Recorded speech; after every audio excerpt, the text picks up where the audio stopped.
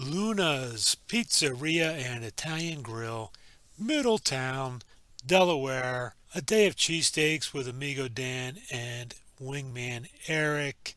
And I'm sorry, this was a miss. We got a Luna special steak and took it to Elk River Brewing Company because we wanted to continue to drink. And the cheesesteak looked good, but when you bit into it, there was just a whole lot going on. The special steak came with uh, fried onions, mushrooms, green peppers, sauce, and there was a whole lot of green peppers. And my pet peeve, the, the green peppers didn't spend a lot of time on the grill, and the peppers really dominated the flavor. You can see in the picture some cheese, looks like it was melted on top. There was definitely a lot going on, but the, the peppers just dominated overruled everything else on the cheesesteak.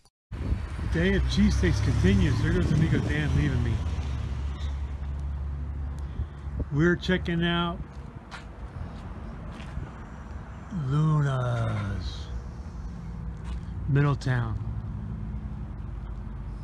That house, that house was all but they were by themselves a long time ago. Now Amazon's in their backyard and Empire's whiskey and DQ.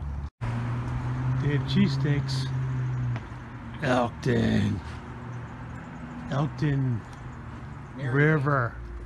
Maryland. Elkton River. Up! Oh, hey! Is that Wingman Eric? That's me. Elkton. Look, they got little name tags. Pappas Building, Berkeley Building,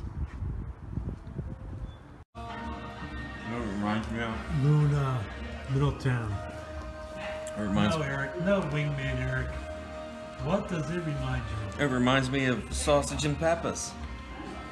Stuffed peppers and sausage.